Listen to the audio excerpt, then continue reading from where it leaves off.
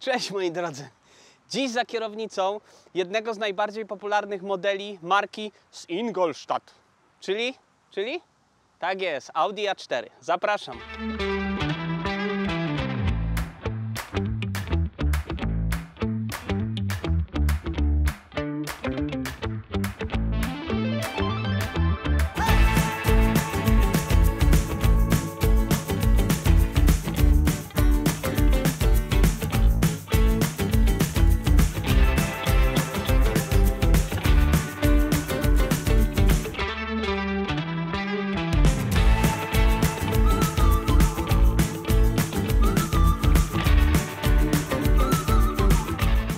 A4 zastąpiła model 80 i produkowana jest od 1994 roku. My dziś do testu mamy generację o znaczeniu B9, która produkowana jest od 2015 roku do dnia dzisiejszego. Facelifting w 2019. Nasz testowy egzemplarz pochodzi natomiast z 2018 i został nam udostępniony przez mojego imiennika, czyli Marcina, któremu oczywiście dziękuję i serdecznie pozdrawiam. Jeżeli chodzi o linię nadwozia, no to tak jak widzicie, mamy tutaj klasycznego sedana o takich raczej stonowanych kształtach. Mm, Jeżeli chodzi o zmiany względem poprzedniej genera generacji, to są one, można powiedzieć, takie yy, kosmetyczne yy, i, bardzo zachowawcze. Złośliwi nawet twierdzą, że wszystko na świecie się zmienia, ale nie wygląd A4. I moi drodzy, trochę prawdy w tym jest, ale z drugiej strony po co zmieniać coś, co, co działa, co się podoba, no i przyciąga kolejnych klientów do salonu. Ta generacja dzięki zastosowaniu lżejszych materiałów yy, może pochwalić się mniejszą wagą od poprzedniego modelu, aż o 120 kg, a także bardzo niskim współczynnikiem oporu powietrza, bo w wersji Ultra, a taką dziś mamy do testu, jest to 0,23. A to wszystko dzięki zastosowaniu dodatkowych osłon y, pod podwoziem, a także aktywnych klap w grillu. Ok, zajrzyjmy pod maskę. W A4 może pracować 6 silników benzynowych albo 7 silników wysokoprężnych. I to jest, moi drodzy, zastanawiające, że mimo tak dużej nagonki na silniki wysokoprężne, że są nieekologiczne i tak dalej, yy, takie marki jak Audi czy BMW, które ostatnio testowałem, bo tam była podobna sytuacja, wciąż w ofercie ma w przewadze więcej silników wysokoprężnych. Co Wy o tym myślicie? Napiszcie w komentarzach, bo, bo strasznie mnie to zastanawia. Warto wspomnieć, że w A4 w modelu S4 może pracować również motor o mocy y, 350 koni mechanicznych ponad, bo tam jest chyba 354. No a taką wisienką na torcie jest już wersja RS4 z silnikiem o mocy 450 koni mechanicznych. No to już musi być rakieta. Ale w naszym testowanym egzemplarzu jest motor o pojemności 2 litrów, benzyna TF, TFSI Ultra o mocy 190 koni mechanicznych, dostępnych przy 4200 obrotów na minutę. Maksymalny moment obrotowy tego silnika to 320 Nm, dostępny od gdzieś 1450 do 4200 obrotów. Prędkość maksymalna to jakieś 235 km na godzinę, natomiast przyspieszenie od 0 do setki ze skrzynią automatyczną to 7,5 sekundy. Dobra, bagażnik. Bagażnik ma pojemność 480 litrów, a po złożeniu oparć tylnej kanapy ta przestrzeń wzrasta do 965 litrów. No i jak widzicie jest bardzo ustawny, ma regularny kształt, próg załadunku też jest nieduży. Mamy tu kilka udogodnień w postaci takich schowków po prawej y, stronie i po lewej. No są tu zaczepy na jakąś siateczkę. Y, no jest oczywiście podświetlenie a pod podłogą koło dojazdowe. Więc tak wypada przestrzeń bagażowa. Uchwyt do zamykania.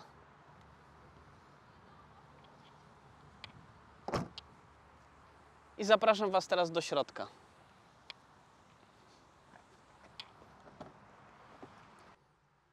No i tak to, moi drodzy, prezentuje się w środku. Jak przystało na Audi, czuć pieniądz, naprawdę. Materiały użyte do wykończenia tego wnętrza są naprawdę dobrej jakości. No już nie będę sprawdzał, no tu wszystko jest miękkie, tu trochę może twardsze. No tutaj standardowo jest twardszy plastik. Ale wygląda to wszystko dobrze, jest solidnie spasowane. Tu mamy wstawki z prawdziwego aluminium.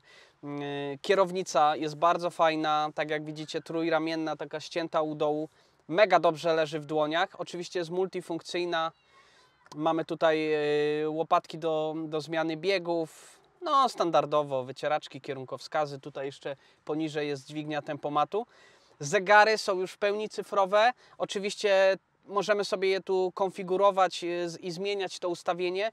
Y, Dla mnie duży plus za to, że mamy takie klasyczne, klasyczny obrotomierz i klasyczny prędkościomierz. Ja jednak lubię takie klasyczne rozwiązania, więc nawet jeżeli jest to wersja cyfrowa, a pozwala nam zachować trochę tej klasyki, to, to dla mnie to jest na plus. Na tych zegarach dużo się dzieje, ale są bardzo czytelne y, i, i takie przejrzyste. Możemy też y, mieć tutaj na zegarach wskazania nawigacji, co jest bardzo fajne. No i przełączać się między poszczególnymi tutaj ustawieniami. Bardzo łatwo się to obsługuje i łatwo do tego się y, jakby przyzwyczaić i, i w tym odnaleźć.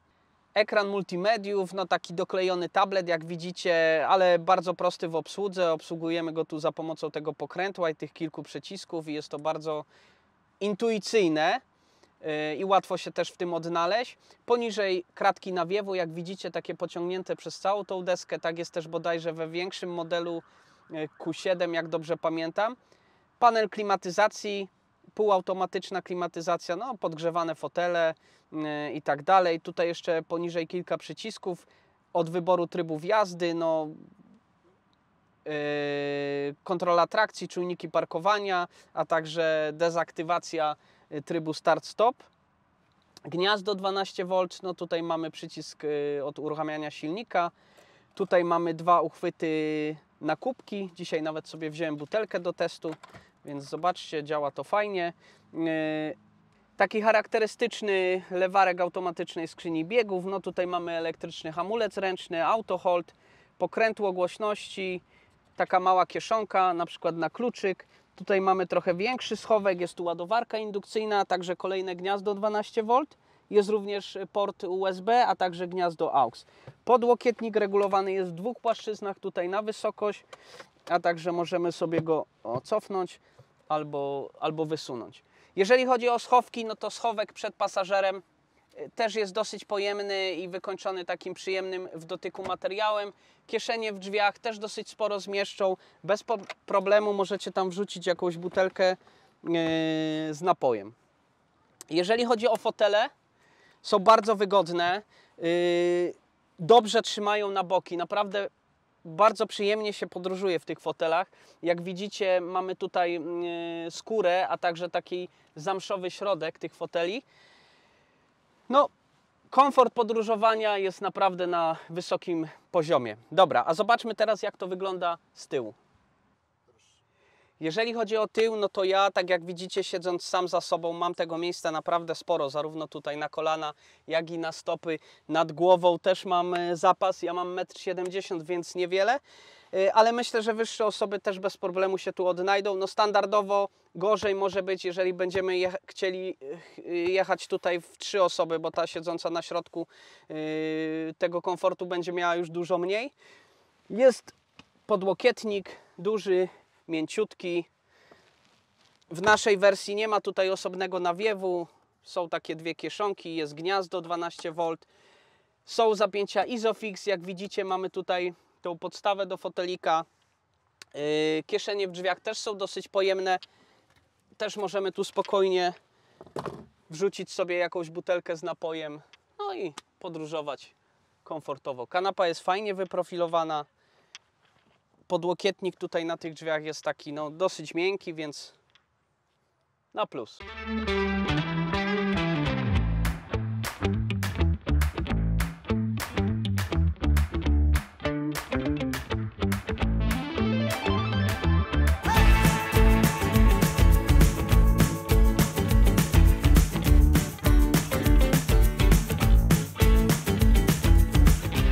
Zawieszenie w tym samochodzie zestrojone jest raczej z nastawieniem na taką komfortową jazdę, ale jeżeli będziemy chcieli też pojechać szybciej, wejść dynamiczniej w zakręt, y, to ono też sobie z tym bez problemu poradzi.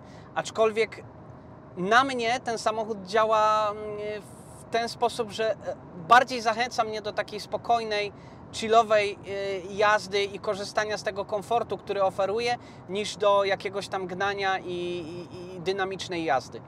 Układ kierowniczy nie jest może jakoś bardzo bezpośredni, ale daje naprawdę dobre czucie tego, co dzieje się z tym samochodem, co dzieje się z kołami na asfalcie. Silnik jest dynamiczny i elastyczny. Ma on takie delikatne opóźnienie, takiego delikatnego laga. Nie wiem, czy to jest do końca wina tej jednostki napędowej, czy może skrzyni biegów. Wydaje mi się, że połączenia jednego z drugim, bo przypominam, że mamy tutaj mm, wersję Ultra, która jest ona jest tam delikatnie zmodyfikowana, jest bardziej nastawiona na y, oszczędność, na taką oszczędną jazdę. Teraz jedziemy no tutaj około 100 km na godzinę. Y, samochód utrzymuje y, półtora tysiąca obrotów. Jesteśmy na siódmym biegu i zobaczcie, dodaje gazu i niby skrzynia redukuje od razu biegi, ale potrzebuje jakby chwili, żeby zaczął przyspieszać. Więc, y, więc tak to tu wygląda. W trybie dynamicznym y, ten efekt jest nieco mniejszy, ale nadal się pojawia. Plusem natomiast jest to, że ta jednostka jest bardzo oszczędna i, i spala niewiele paliwa jak na, na swoją moc, bo średnie spalanie tego samochodu to jakieś 6,8, 7 litrów. Na trasie spokojnie można zejść do 6 litrów a, albo nawet i do 5, jeżeli będziemy jechali tak do tych 90 km na godzinę. Tu też y, często nam się pojawia y, informacja o tym, żebyśmy zdjęli nogę z gazu, jak jedziemy na przykład z jakiegoś wzniesienia i tak dalej. Wtedy samochód wchodzi w ten tryb takiego żeglowania, no i oszczędza paliwo. Skrzynia biegów 7-stopniowa, S-Tronic. W tej wersji silnikowej był dostępny również 6-biegowy manual. Automat działa naprawdę szybko. Y, możemy też oczywiście zmieniać sobie te biegi mm, ręcznie tutaj za pomocą tych łopatek przy kierownicy. No i wtedy to już jest naprawdę fan. Zresztą zobaczcie sami. Mamy tutaj do wyboru kilka trybów jazdy: Efficiency, Comfort, Auto, dynamiczny i indywidualny, gdzie możemy sobie sami tam y, skonfigurować te ustawienia. I powiem Wam, jak dla mnie y, te zmiany y, w tych poszczególnych trybach nie są jakieś bardzo spektakularne. Chyba największa zmiana jest w trybie dynamicznym, gdzie czujemy, że ten silnik y, kręci się wyżej, skrzynia nieco później zmienia biegi, no i ten układ kierowniczy się tak troszkę bardziej usztywnia.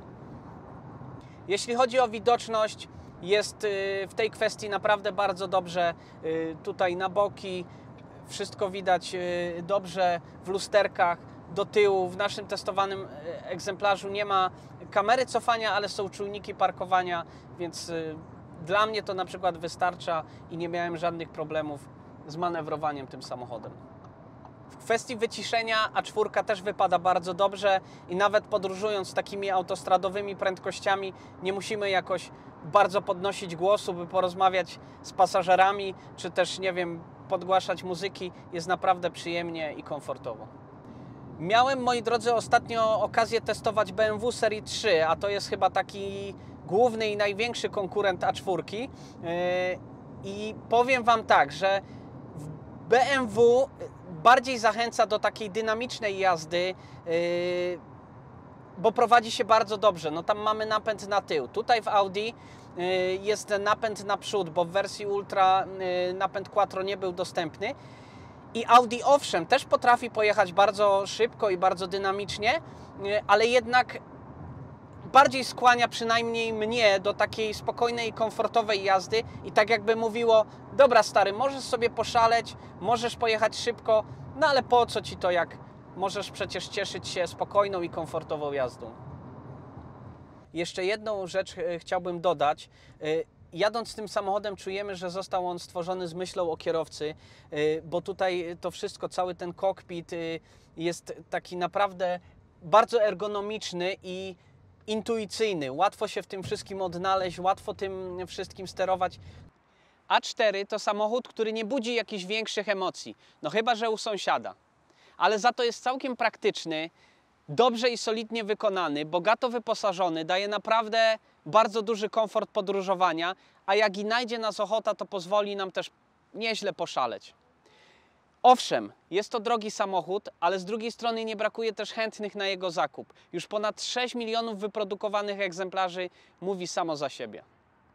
Dzięki za obejrzenie tego filmu. Do zobaczenia w kolejnych materiałach, a tymczasem pozdrawiam Was i cześć!